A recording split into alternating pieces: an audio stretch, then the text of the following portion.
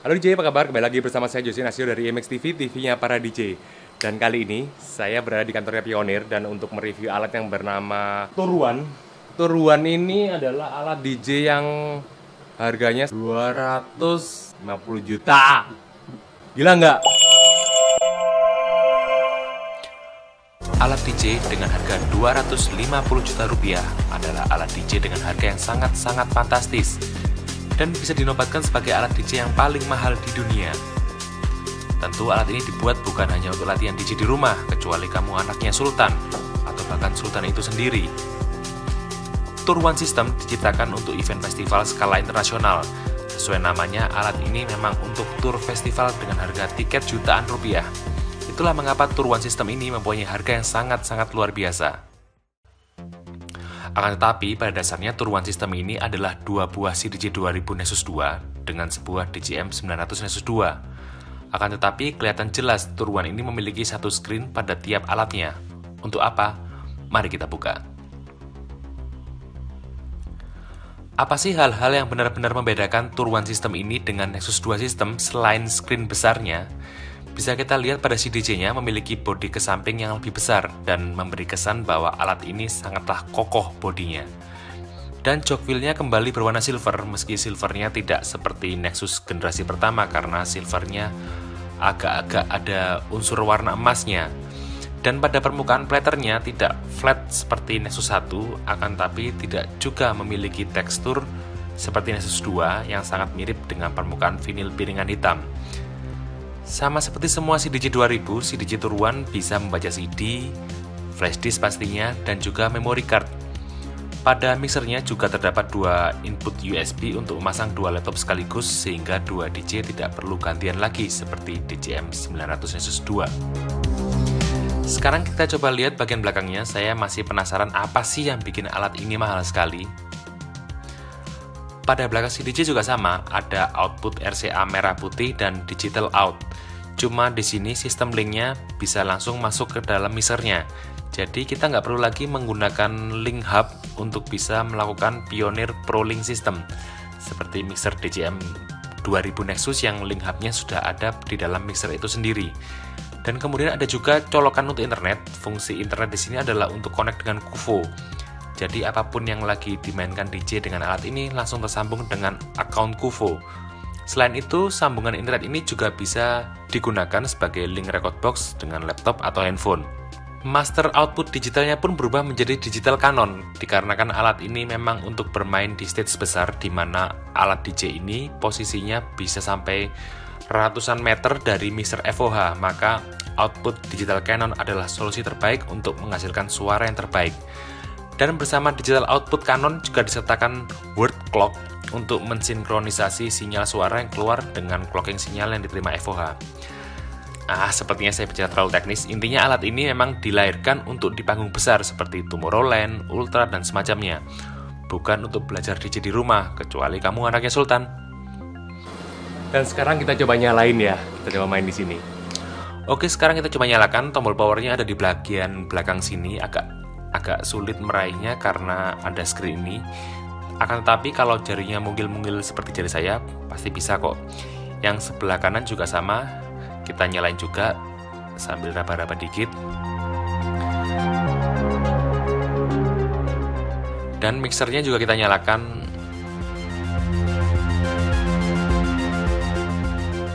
Wah, ternyata jari saya tidak cukup. Jadi harus nyalain dari belakang. Nyalainnya harus dari belakang karena posisi tombolnya cukup ke bawah sekali. Oke, akhirnya alat DJ 250 juta menyala. Kita tunggu sebentar sampai semua menyala dengan sempurna. Pada screen besarnya muncul tiga opsi, link, USB, dan SD card. Saya ambil versi saya dulu ya. Flash disk flash disk saya berhamburan kita coba sandi saya yang kecil ini ya, yang fenomenal banget.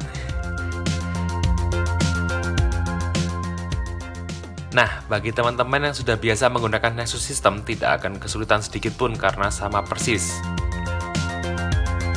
Klik USB. Nah,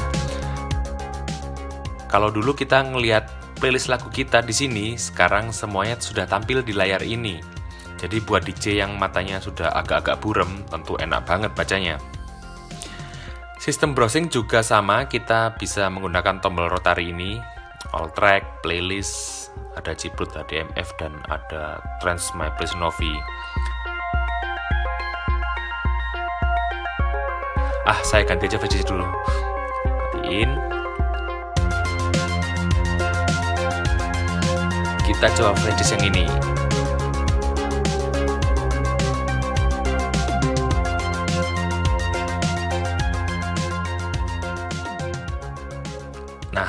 Sudah keluar, kita pilih playlist. Klik. Pakai tulisan bila.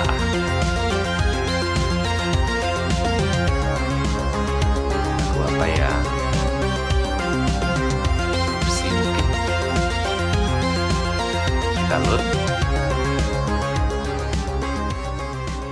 Tampak pada screen kecil ini akan keluar grafiknya dan sistem browsingnya menggunakan layar yang besar, tidak lagi menggunakan layar yang kecil. Jadi layar yang kecil menampilkan grafik atau waveform dan informasi-informasi lainnya, sedangkan untuk sistem browsing lagu, browsing playlist, dan lain-lainnya ada pada layar yang besar. Ini touchscreen gak ya? Wow, touchscreen! Touchscreen bro! Jadi kita biasa searching di sini, tekan search, maka tombol QWERTY-nya akan keluar. Kita cari Scratch ya. S C R A kok gak ada. Kita coba Morena. Gak ada juga. Wah, DJ abal-abal ini. Masa gak punya Morena? Kita pilih People Everyday aja ya pakai rotary ini. Kita klik load. Masuk kan? Sebenarnya pada dasarnya sama aja dengan Nexus 2, cuma layar besar ini cukup membantu kita saat milih lagu, jadi nggak perlu ngebungkuk sampai segininya. Kalau gini kan lebih enak ngebacanya, buat DJ dengan mata yang minus 10 pun masih kebaca lah. Dan pada mixer akan terlihat seperti ini, grafik atau waveform pada CDJ ini akan ditampilkan juga pada layar besarnya mixer.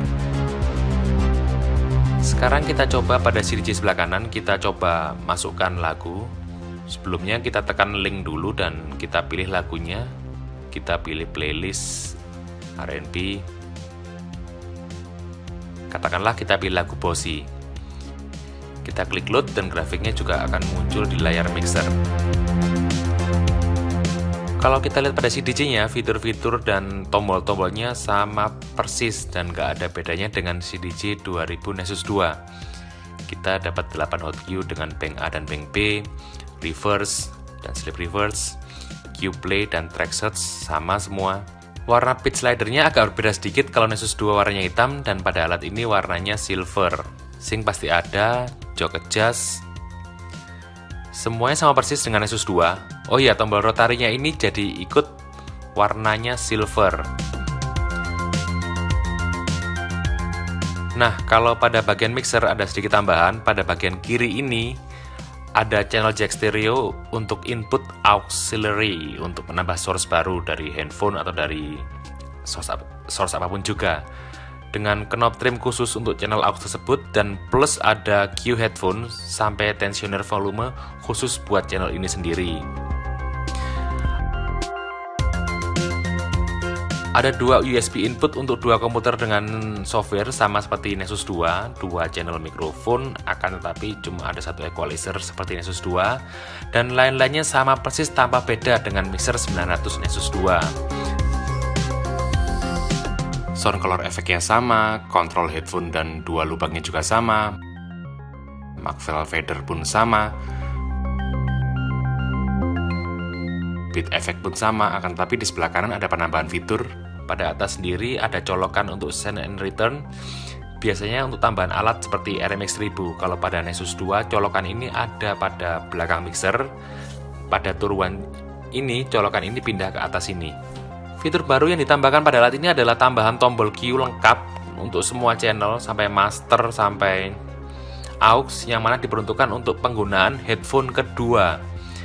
Headphone kedua bisa masuk lewat lubang di bawah sini jadi, apabila ada DJ lagi nge-DJ menggunakan lubang yang ini, DJ kedua bisa memasang headphone-nya pada sisi ini dan melakukan mixing. Sayangnya di sini cuma ada lubang 3,5 mili, sedangkan pada lubang satunya ada pilihan dua lubang. Fitur ini juga sangat berguna bagi dua DJ yang bermain back to back. Kedua DJ bisa sama-sama memasang headphone-nya dan bisa mendengarkan cue lagu masing-masing. Satu lagi bedanya mixer turuan ini adalah posisinya yang agak miring, jadi dia nggak flat seperti mixer-mixer lain dan sepertinya cuma turuan satu-satunya mixer yang didesain miring seperti setup di klub-klub Eropa. Nah, mungkin ada yang nanya, enak nggak buat scratch? Menurut saya pribadi, jog wheel turuan ini terlalu enteng. Semua CDJ mulai 2000, 2000 Nexus, sampai 2000 Nexus 2, rasanya sama, dan seret-seretnya sama. Sedangkan turuan ini beda sendiri, ringan banget. Bahkan saya harus memutar jok adjustnya sampai mentok kanan baru terasa agak enak. Sama seperti CDJ 2000 lainnya pada setelan jok adjust jam 12.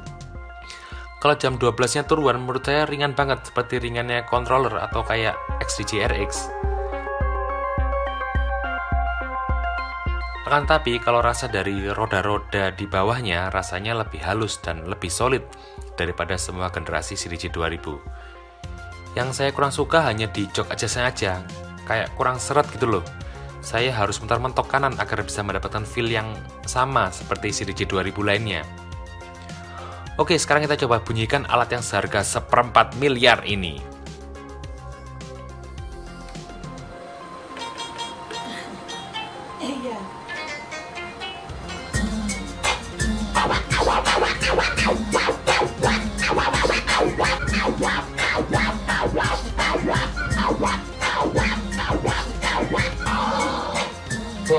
Two, three, three, three, three.